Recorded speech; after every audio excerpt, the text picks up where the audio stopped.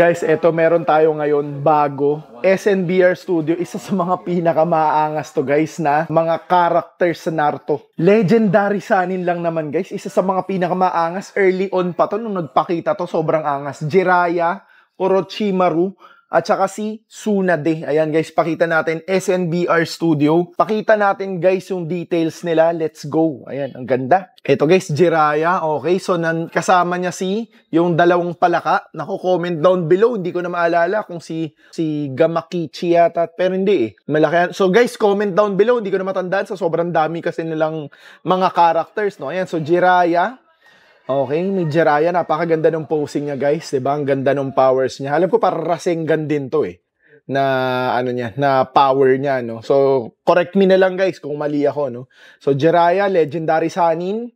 Okay, ito yung palaka. ito yung ahas, si Orochimaru. Suna din naman yung snail or suso. Orochimaru guys, snake, sobrang angas niyan, tingnan niyo. Okay. Ang ganda rin ng details niya. May ano pa siya, uh, fire fire ano pa to? Fire bomb.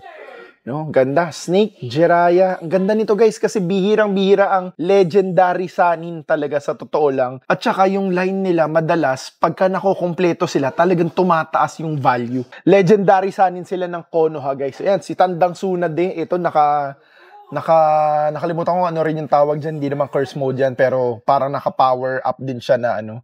Comment down below guys yun. Sa si Chuyu, yung kanyang summon, okay. So sobrang angas nila guys. SNBR Studio Legendary Sanin set set of 3. Ito, uh, set of 3 lang talaga namin siya binibitawan kasi talagang napakaganda niya pagka tatlo silang magkakasama. Okay? So, alam nyo na, for more lessons, sobrang dami nating lessons, guys.